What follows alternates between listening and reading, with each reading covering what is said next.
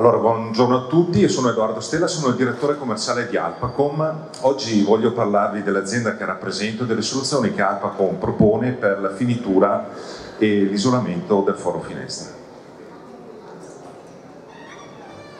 Allora, Alpacom è un'azienda che pesca la propria esperienza da ben 60 anni di storia. Il nonno dell'attuale amministratore delegato produceva serramenti in legno, avvolgibili in legno, biscuretti in legno e tutto quello che si poteva fare con legno negli anni 70. Eh, il padre invece nei primi anni 80 fondò Alpacom, l'azienda vera e propria, introducendo la produzione del monoblocco coibentato. Da allora Alpacom è un'azienda che ha saputo strutturarsi e crescere sul territorio,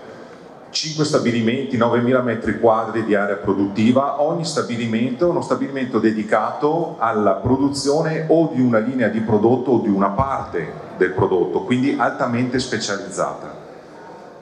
Un'azienda che per forza di cose è entrata in contatto con migliaia di clienti, accrescendo il proprio know-how, la proposta tecnica che poi riusciamo a trasmettere ai progettisti e a tutti i nostri clienti. Un'azienda che ha saputo sviluppare la propria rete vendita sul territorio e che ci ha concesso di capire e di imparare anche quelle che sono le abitudini costruttive di ogni regione, ma molto spesso anche di ogni provincia o di ogni città, perché i centri storici sono diversi dalle periferie. Albacom è un'azienda certificata ISO 9001. Ora vi chiederete perché un funzionario che ha l'opportunità di parlare davanti a un pubblico così altamente profilato, invece di parlare di cose tecniche di prodotto, inizia con una slide dedicata a una certificazione ISO 9001. L'ISO 9001 è una garanzia che non serve a noi, è una garanzia che serve a voi.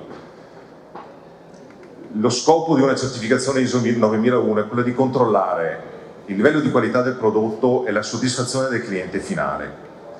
in poche parole è come se ognuno di voi, prima di affidarmi una commessa, decidesse di venire in azienda e passare una settimana per controllare di persona come riceviamo gli ordini, come sviluppiamo gli ordini,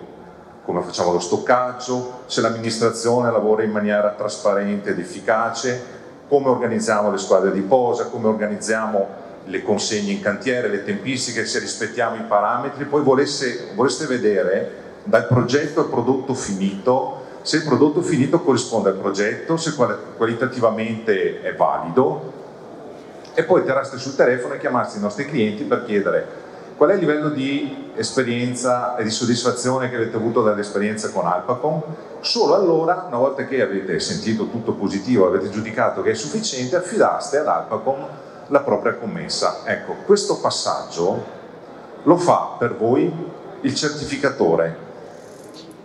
ed è importante per noi a questo punto che la gente, il cliente capisca che deve fare delle considerazioni prima di affidarsi a un produttore, perché è responsabilità del cliente di chi si porta a casa, cioè chi sarà la persona che seguirà un aspetto molto tecnico della progettazione di un edificio, che ora andremo a vedere nello specifico e vi parlerò eh, sostanzialmente del, del, nostro monoblocco, che è il nostro core business. Noi siamo da sempre produttori di controtelai coibentati, che è un sistema prefabbricato che ospita al proprio interno un cassonetto isolato a scomparsa, delle spallette nel nostro caso in schiuma poliuretanica, che contengono la guida di scorrimento dell'avvolgibile, il falso telaio per alloggio del serramento e mettono in condizione di essere inserite su un foro grezzo e passare in brevissimo tempo da un foro grezzo a un foro finito. Con una precisione industriale, noi siamo stati la prima azienda del settore a certificarci come Industria 4.0. Adesso siamo in trattativa che c'è la possibilità di fare lo switch e uscire con il 5.0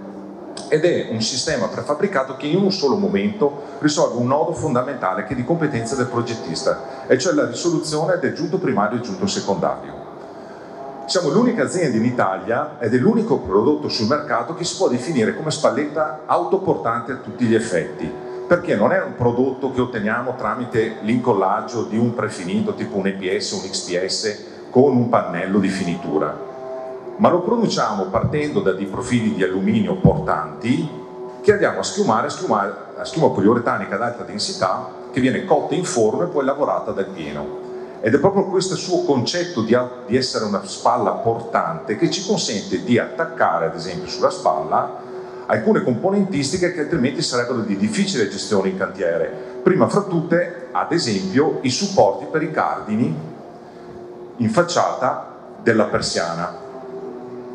Ma il nostro monoblocco si adatta a tutti i sistemi oscuranti, sia ben chiaro, quindi dalla persiana agli scuretti, noi siamo di Vicenza, c'è l'oscuro alla Vicentina, quindi nasciamo proprio con quel sistema oscurante, ma poi per forza di cose lo scuro più utilizzato è l'avvolgibile, quindi c'è per la persiana, c'è per l'avvolgibile con il cassonetto equipaggiato, ci sono frangisole dedicati a sistemi oscuranti un po' più particolari, ad esempio i frangisole, cioè quei sistemi, sistemi a lamella che poi si impacchettano e sono orientabili, ma proprio perché noi siamo produttori, noi riusciamo ad adattarci a qualsiasi sistema oscurante il progettista decida di, di utilizzare. Per cui se voi individuate un avvolgibile blindato particolare di cui il vostro cliente si è innamorato, vuol dire che necessariamente se non lo trattiamo noi non sia implementabile in un sistema prefabbricato, perché il nostro è un sistema altamente customizzabile, quindi lo progettiamo, lo costruiamo in base a quelle che sono le vostre necessità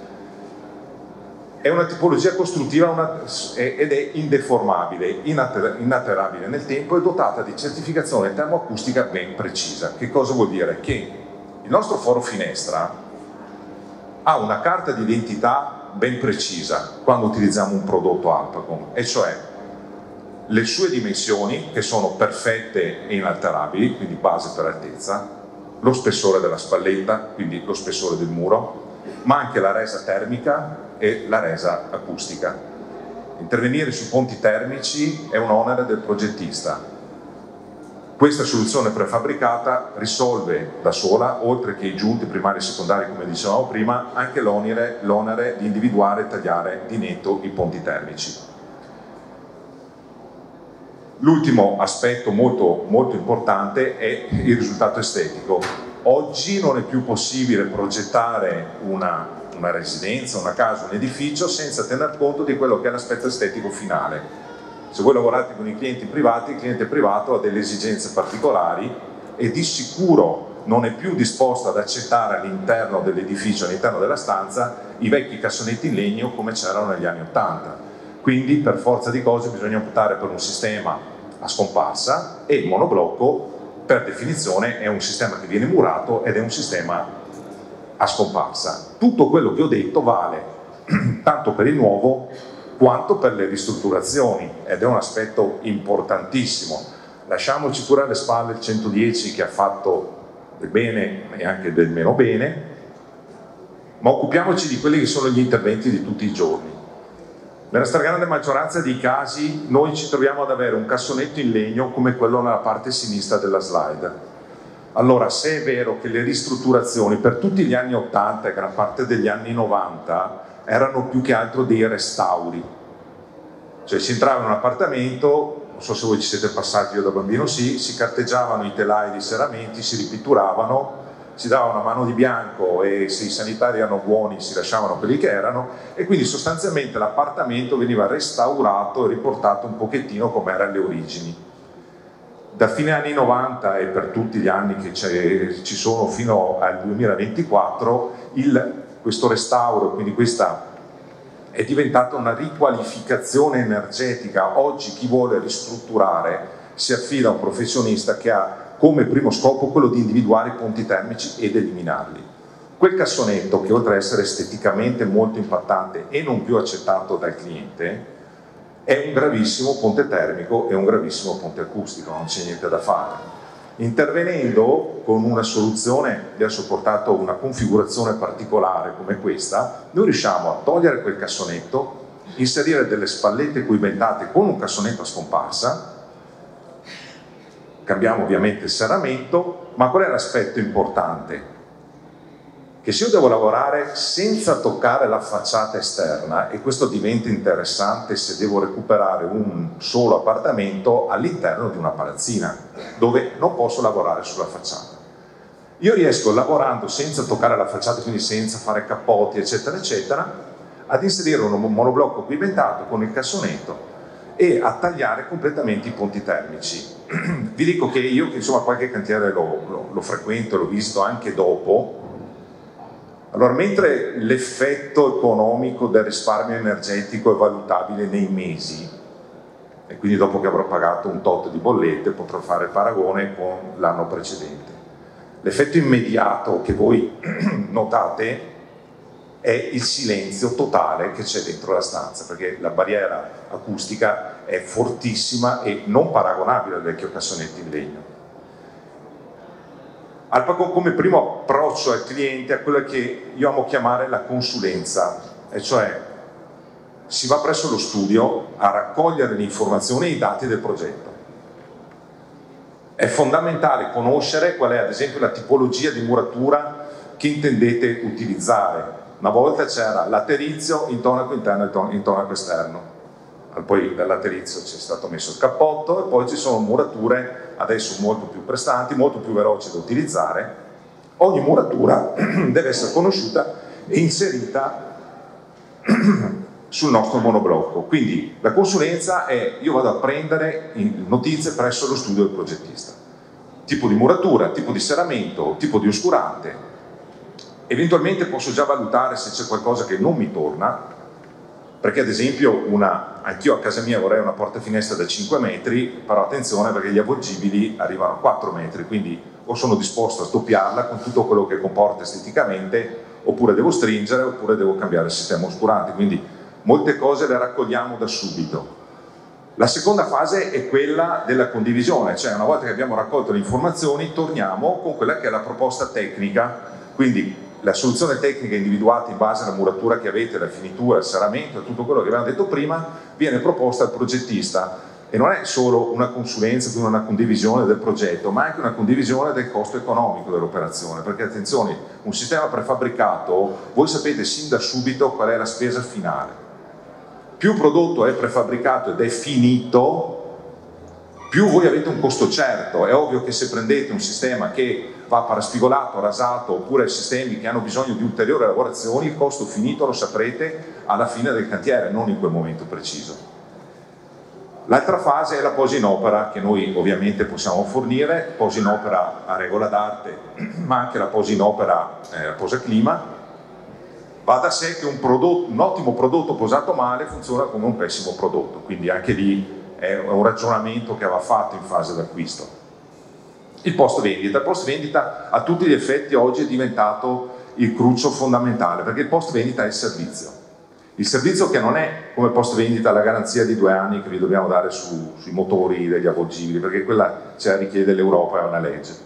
Il post vendita è inteso come consulenza che viene data in cantiere. Materiale quando arriva in cantiere non necessariamente per noi si chiude la storia perché potrebbe sempre esserci un dubbio, qualcosa da andare a vedere come posare le soglie, come posare il monoblocco. Sul nostro monoblocco, attenzione, interviene elettricista, capottista, seramentista, chi fa gli intonaci, quindi c'è tutta una serie di persone che bisogna essere in grado di coordinare, di cui si deve conoscere bene qual è il loro lavoro e come deve essere fatto correttamente su questo che è il nodo principale, più debole di un'abitazione. Ora concluderò il mio intervento facendovi anch'io vedere un breve video, meno spettacolare di quello di prima, ma un video reale che abbiamo girato in un cantiere dove ci hanno ospitati, quindi questo non è un laboratorio.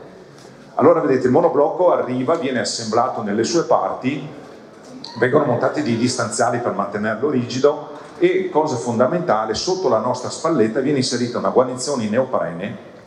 che una volta schiacciata sui marmi fa da sigillante, perché il punto debole di tutti i controtelai è il punto di giunzione tra il marmo, quindi il davanzale o la soglia, e la nostra spalletta. Quindi una volta inserita sul foro, messo a piombo e fissato provvisoriamente con dei cunei,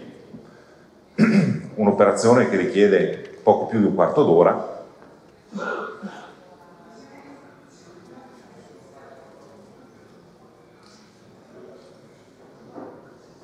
si passa alla seconda fase, quindi tutta l'intercapedine che rimane attorno al monoblocco, che è la luce del grezzo che viene lasciata dal progetto, viene riempita con la fase di schiumatura, è una schiuma basso espansiva, ad alto rendimento acustico, serve a riempire quell'intercapedine una doppia schiumatura, quindi su tutto il profilo esterno, su tutto il perimetro interno del monoblocco viene praticamente già così fissato alla muratura. Si procede sempre dal basso verso l'alto, mi raccomando se vedete qualcuno che schiuma dall'alto verso il basso non va bene, Il tempo è un'altra decina di minuti e poi rimane la fase di fissaggio meccanico del monoblocco alla muratura, quindi con delle turboviti, con dei tasselli o a volte anche rompendo la muratura andando poi a mettere della malta, si va a fissare il monoblocco all'interno della muratura e passiamo in poco meno di mezz'ora da avere un foro grezzo ad avere un foro finito, lucidi architettoniche rispettate, finitura rispettata e pronto diciamo, a ospitare i cappotti, gli intonaci, gli impianti e quant'altro. Ora il mio intervento volge al termine, noi quest'anno saremo in tour per parecchi mesi insieme a Infoprogetto e quindi porteremo il nostro progetto sulle principali piazze italiane. L'invito è quello di venire a visitare il nostro sito, un sito open source, quindi un sito che vi permette di scaricare delle schede tecniche, di entrare senza dovervi registrare, quindi molto semplice io oggi sono qui accompagnato dalla mia direttrice del marketing che prima del mio intervento mi ha tanto raccomandato di invitarvi a seguirci anche su, tutti, su tutte le nostre piattaforme dove ci sono sia video tecnici, video esplicativi, video che parla di chi siamo, cosa facciamo e devo dire anche qualche video molto divertente. Con questo vi ringrazio e vi auguro buona continuazione.